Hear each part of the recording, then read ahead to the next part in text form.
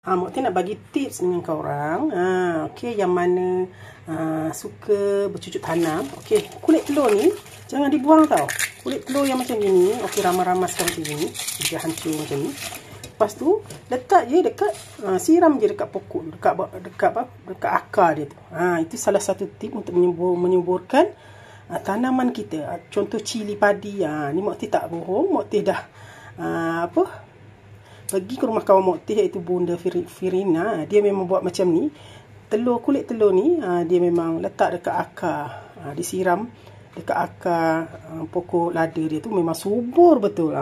Ada Mokti ambil video masa Mokti pergi ke rumah dia dia menggunakan kulit telur ni. Okey, kalau anda nak tahu anda boleh klik video yang Mokti sediakan ni dekat uh, apa Motif Life Story. Uh, masa ni Motif memang pergi ke rumah dia dan Motif tanya dia, uh, apakah rahsia sampai cili dia tu subur sangat? Ha, uh, ini rahsianya, rahsianya iaitu kulit telur saja. Okey.